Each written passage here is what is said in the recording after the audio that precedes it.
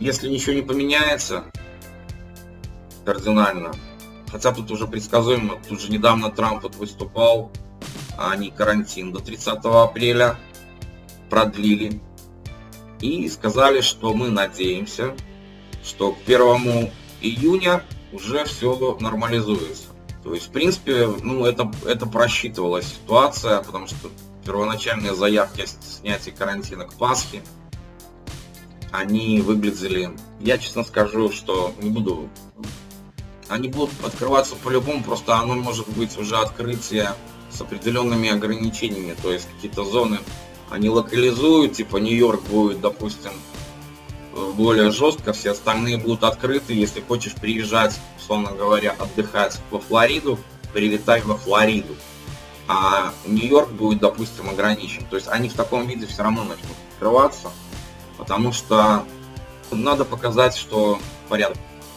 Сейчас просто на этой истерии, когда действительно умирают люди каждый день, и это в новостной ленте идет, делать вот эти движения, что мы локализуем только Нью-Йорк, а везде в остальной стране пускай делают, что хотят, психологически просто это плохо очень выглядит.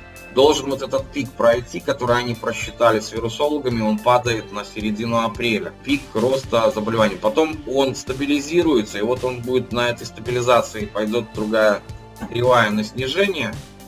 Тут уже как раз они могут себе позволить этот карантин отменить. Интересное время, интересное время настало то либо вы это делаете вот на первый, как только откроется, э, месяц попадаете, либо уже откладывается это на год-полтора. Поэтому вот так. Но здесь сейчас еще нас подопрет экономическая ситуация, к сожалению.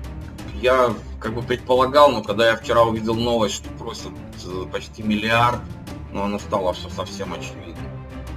Они, скорее всего, его и получат, потому что Америка нам уже выделила там, по-моему, полтора миллиона долларов на борьбу с коронавирусом, как и всем другим странам. Но этого мало, этого мало. Нам нужно почти миллиард, представляете? Жесть, в общем.